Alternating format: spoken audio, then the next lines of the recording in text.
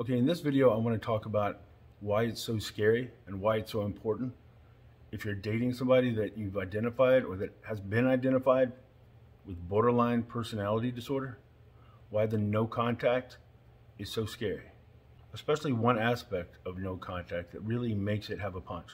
I'm going to use an example from a client I've had recently. I'm not going to mention names, but it's somebody that called me and said that uh, it hit all the markers for borderline. It was it started fast, very intense. They were idealized, a lot of time together, addicted to one another, matched up with each other mentally, spiritually, physically, sexually, everything, quickly. Used phrases like um, the man that I want to be with forever, a person that I've always looked for. The term soulmate was used. Everything was going along beautifully. Also in her past, she mentioned that she struggled with suicidal thoughts at a young age. Also mentioned in her past, she had an unstable, emotionally unstable mother that left her feeling off balance. It's also controlling. So you're starting to see the check marks. One of the biggest check marks was not just how it started, was not just her past, was not just the idealized and the fireworks, but then after a, a few months, suddenly there was a drop in intimacy. Like on a scale of one to 10, with a borderline, the first few months, it's usually a 15. And then suddenly, for some reason, it drops down to maybe like a 10 or a 9. Still high, but not what you were used to. You would usually pick it up. The non borderline would usually pick up that, that shift in intimacy and try to close the gap. The only problem is, a lot of times that shift, that downgrade in intimacy, is because they've just realized they've just realized you're serious about being with them long term. The problem is most borderlines have a very, very deep fear of abandonment to the point that it's not just a fear they're going to be abandoned by the person they love, it's an expectation. So when you start taking abuse or disrespect, or you start assuring them that you're going to be there forever to the point that they actually believe you, it's like it triggers a fear in them and they think, maybe I'm making a mistake. They're also starting to get uncomfortable because they don't know how to do long term, calm, loving, healthy, fully empathetic relationships.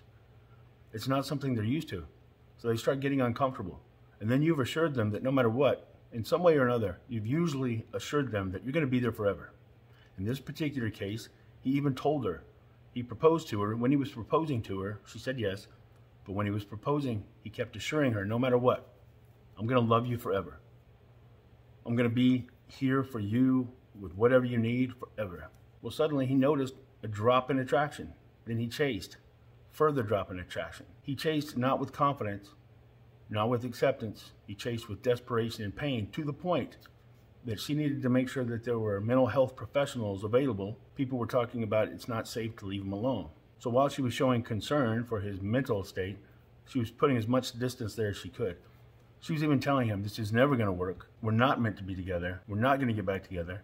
I'm going to drop you and block you and unfollow you from everything because I think it's just going to be too painful for you. In spite of it all, he kept chasing her. Even in our call, after all the check marks were, were listed, at one point I even said, Have you ever heard of borderline personality disorder? And he said, No, but somebody mentioned to me, someone in her family mentioned to me something. And I think it was something about disorder and personality. And I said, was it dissociative personality disorder? It used to be called multiple. It's very, very similar to borderline. They're both an identity crisis. So another check mark. In spite of everything, I said, what you need to do is reclaim your strength. You're not making yourself more attractive by chasing after her with one desperate plea of eternal love after another. You need to remind her that you have a strength and a confidence and a purpose and a passion and a plan for your life that is greater than just her. This is not attractive to her. He even said right before she broke up with him, he told her again, I just want you to know nothing can change the fact that I'm going to be here for you forever. That is the single worst sentence you can tell somebody with borderline personality disorder. So, flash forward, he calls me. We have a conversation. All the boxes, not some, all the boxes check off. I tell him, you need to reclaim some strength. Send the no contact. He said, oh, I'm already in no contact. I said, well, what was your, what did it look like, the clean slate message? And he said, I told her I accept it and I'm sorry for how I handled the breakup. That's one part of it. In this situation, what you need to do is let that other person know. I've had some time to think about it. And you know what? You're probably, probably is a key word. You're probably right. Maybe, maybe is the key word. Maybe we're not the best fit long term. Because what happens is when they're breaking up with you, when they break up with you, you're down here. They've already been thinking about it for a while. So you are already, you were already here and you just didn't know it. Then they broke up with you. Then you chase them. Then you really, ch- you just keep dropping. As soon as you say, I accept it, you freeze. It's like you stop dropping, they stop losing attraction for you because you've accepted it. But when you let them know, hey, I've had some time to think about it, you might be right. Maybe we're not the best fit long term. Even if you don't mean it. Because now you're in agreement. You're letting them know, and keep in mind, you haven't changed anything. You've only agreed to what they've already said they want. In this case, she didn't even say, I think we might not be a best fit. She said, I know we're not a good fit. She said, it's over. So I was just encouraging him, let, let her know. It's like she just asked you to leave the house. Think of her heart as a house. She just asked you to leave. Instead of leaving, you went outside, she shut the door, you turned around, looked through the window, and said, Please let me back in, please let me back in, please let me back in, to the point that she started locking doors. Then you kept pleading to the point that she had to get a mental health professional involved. It's like she's piling furniture in front of the door. She knows she doesn't want you back in now for sure because you won't accept that she asked you to leave. All I'm trying to get people to do in that situation is at least get off the porch, walk into the yard. You don't have to be angry. Don't be angry. You don't have to be devastated. Don't be devastated. But it's like I'm trying to get people to understand the importance of turning around, looking through the window and saying, I understand. Maybe I, maybe I shouldn't be living there. And calmly, with confidence, start looking around and start walking down the road, looking at other houses. When you do that, what do you think happens? They take the furniture away from the door. If anything is going to make them start unlocking things, it's you not pressing, not camping out on the porch, going, I'm still here if you need me. When you start to walk away with confidence and with warmth, that makes them even actually crack the door open and peek out and say, Well, I'm not positive I want you to go away. It's just you were freaking me out because you wouldn't accept what I was telling you. It's a key part. But normally with borderline, and it's the same way with narcissist relationships, they're so addictive and the relationship was so intense. That that particular breakup is the hardest situation to get the other person to just do this. And again, I'm only trying to get people to acknowledge what they've already been told. When you do that, especially with a borderline, go back to what I said. Their biggest fear, to the point that it's not even just a fear, it's an expectation that the person they're supposed to be with is going to abandon them. When you make eternal pledges of love, no matter what happens, you've just identified I'm not that man who's strong enough to walk away from you. I'm the man who's weak enough to take disrespect and to be de- devalued and to being downgraded. I'm the man that no matter how you treat him, I'm going to prove my love. You cannot prove your love to a borderline by taking abuse. Believe me, I even tried it myself. You prove your strength to a borderline by accepting with confidence that you don't need anyone. You want to be with them, but you don't need to be with anyone. And it sets you up for the perfect response. Because normally, when you tell the borderline, I accept it, and maybe you're right, it just took me a while to think about it. It took me a while to realize, but the truth is, I don't want to be with anyone who doesn't want to be with me. So it's the perfect setup. At least half the time, the borderline will come back calmly and say, I'm glad you finally accept this. What made you realize it? Because you've triggered that fear of abandonment. When they ask you what made you realize that, it's the perfect opportunity for you to say, I just simply realized I don't want to be with anybody who doesn't know they want to be with me. Do you hear how strong that sounds compared to please, please, please? That's attractive. Suddenly you look like the man that they've been looking for their entire life. The right man for them or the right woman, depending on the situation. But usually it's a woman if it's borderline. That person that they, they know they're in love with is going to be the one that shows strength enough to live without them. If you refuse to let them know you can live without them because you're afraid it's really going to end it, it's really going to damage things, it's really going to make things worse, you're not going to get them back. They'll think words like pathetic, they'll think words like weakling, they'll think words like repulsive. If you refuse to accept that they might not ever come back to you and you can't show strength in that situation, they start to feel those kind of just sheer contempt. The strange thing is, they'll even, I'll even have the client say, it It feels like they don't miss me at all. It feels like they hate me, and I don't know why. I just keep begging to have another chance.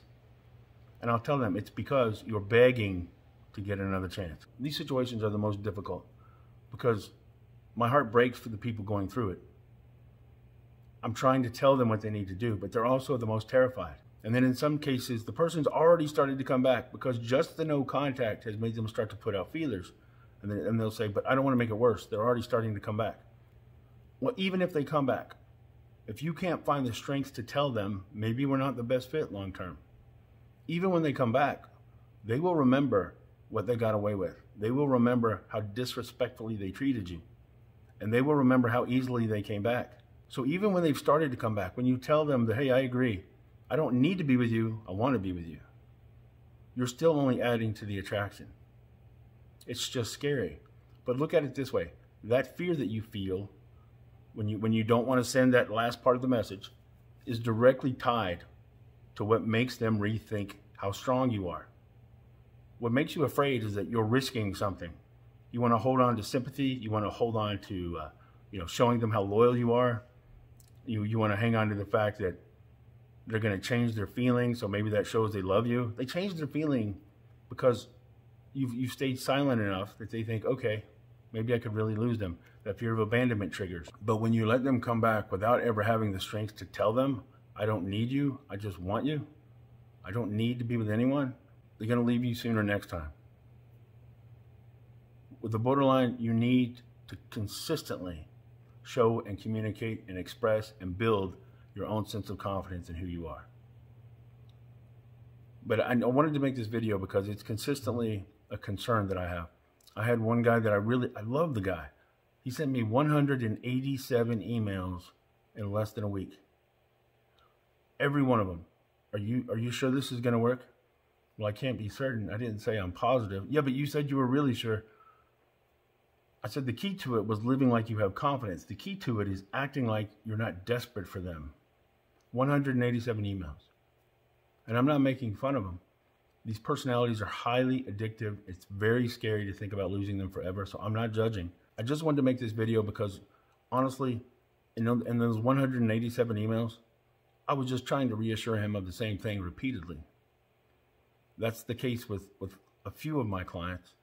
So I'm putting this out there. So if you just need to put it on loop and listen to it and let the principles soak in, listening to anything multiple times a lot of people I know do it with Coach Lee videos. It's, it's a good idea. If you can find a Coach Lee video that hits what you need, I'll be the first to tell you. Put it on, hit repeat. It lets the truth or principle really soak in. So it's just not something you understand, it's something you believe. So that was the purpose behind this. I hope it helps. I am pulling for you, believe me. If you're going through this, I know what it feels like. And I'm, I'm telling you the principles that I've seen work over and over and over again. It's just scary. But it's scary because you're shifting your approach, which will cause them to reassess your attraction, which will cause an increase in attraction. I can promise you, doing what you've done to get here, it's not going to improve anything long term. And I think usually deep down, people know that. It's just a scary place to be in. But I hope this helps. I'm, I'm putting together a series for borderline personality disorder and narcissistic abuse and personality disorder. So keep an eye out for that.